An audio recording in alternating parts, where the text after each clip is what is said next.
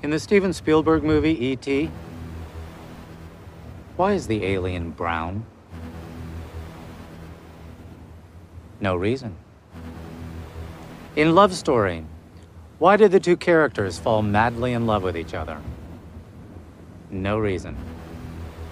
In Oliver Stone's JFK, why is the president suddenly assassinated by some stranger? No reason.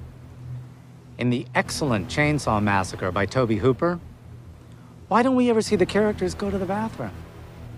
Or wash their hands like people do in real life? Absolutely no reason. Worse, in The Pianist by Polanski, how come this guy has to hide and live like a bum when he plays the piano so well?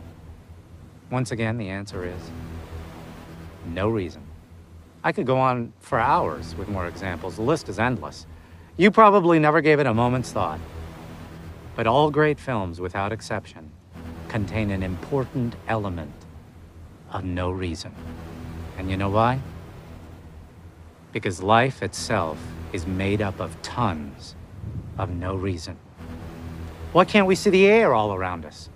No reason. Why are we always thinking? No reason.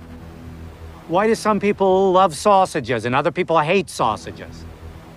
No fucking reason. Come on, don't waste your time explaining that garbage. Let's go. Just a minute. Let me finish.